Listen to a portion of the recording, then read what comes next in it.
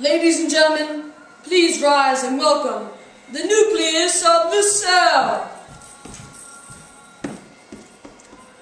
To me, this campaign is about finding an organelle that is fit to lead our cell. I am totally confident that I am that organelle. As you may already know, I have all the genetic information that is needed around the cell, which is one of my largest advantages over other organelles. The chromatin I possess is the key to my success.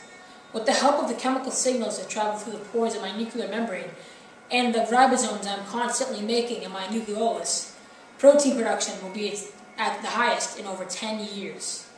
Eventually, I plan on expanding our empire by initiating reproduction. Growth and development will be my top priority.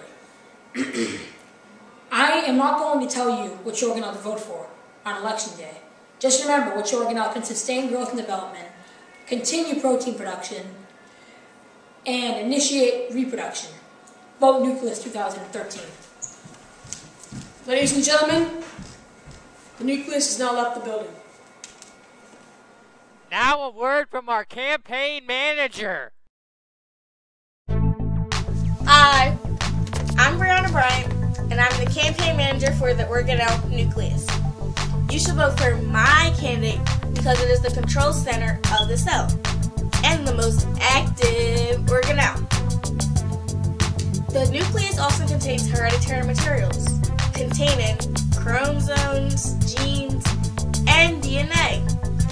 So I guess you could say the nucleus is the center of it all. This message is approved by.